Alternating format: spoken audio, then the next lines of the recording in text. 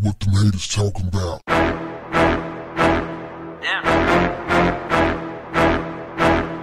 What's up, family? This just in. If he's not paying every single bill in that house, he don't run nothing. Advice from a married woman. By show of hands, thumbs up if you believe that. If he's not paying every single bill in the household, he don't run nothing. Family, there's this woman, I don't know her name, but I have seen on the internet a few times. Don't know her name. But she gives some of the most asinine advice known to mankind and womankind. This woman told anybody who would listen, talking to women, if you don't like you wearing hair and makeup, you know, wearing weave and makeup, put the weave and makeup on and walk out the door. If he don't like you wearing long nails or red nails, put the long nails on, the red nails on, and walk out the door. If he don't like something you're wearing, put it on and walk around the house and say, yeah, you don't run nothing. How in the world is that conducive to having a healthy relationship when she's advising women to do everything that their significant other don't like? How? How is that good advice? Meanwhile, she's over there somewhere married, allegedly. Fam, I'm not fooled by this. I'm not fooled by this tough talk at all. She sounds like a bitter woman because there are not happily married women out there who are spewing this type of information, unless they're doing it on purpose and it's a straight money grab. They know.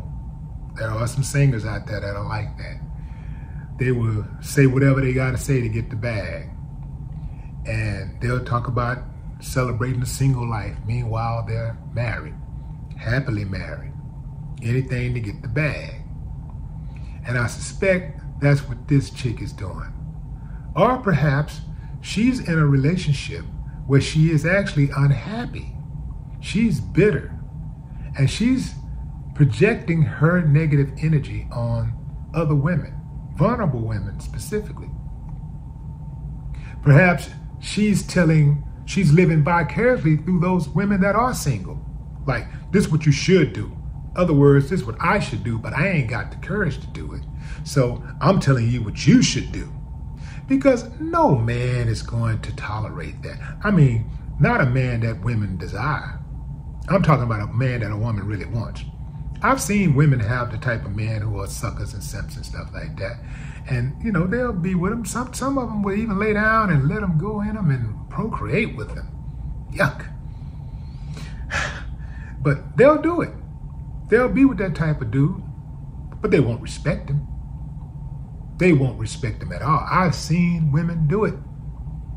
I've seen women go upside dudes' heads who they're in relationships with, have talked to them really reckless Call them all kinds of names. In fact, I'm gonna do a video about one of them real shortly. May I might do it today. I may wait till tomorrow, but I'm gonna do a video about this woman who disrespected her boyfriend. Called him everything but a child of God. But let's get back to this chick. Advising women to leave their relationships, not to try to get understanding and work things out, but to actually just leave. I personally don't advise people to leave relationships unless the relationship is abusive in some manner. You know, if if it's a toxic, dangerous situation, yeah, better get on up out of there. And it don't have to come to blows to be toxic. You know, uh, a lot of times the toxicity shows itself in what a person says. Sometimes people make threats well before they actually act on those threats. You know, before they hit you, they'll talk about hitting you, or they'll like certain videos and post about men swinging on women, men killing women, shooting women. So you gotta be very careful. If I were you guys, I would pay very close attention to how men uh, uh, communicate on social media because they'll tell you who they are. And women will do the same thing. They'll tell you exactly who they are on social media. All you got to do, you know, they may not, you may not get it on the first post, may not be the second post. Go down that timeline. It's very hard to fake it for a few years, but some for a lot of people, hell, it's hard to fake it for a few hours. But go down that timeline, ask a few questions. You'll get your answer. Anyway, fam, y'all drop a comment and let me know what y'all think about this. I'd love to hear your thoughts. No more talk. What the haters talking about?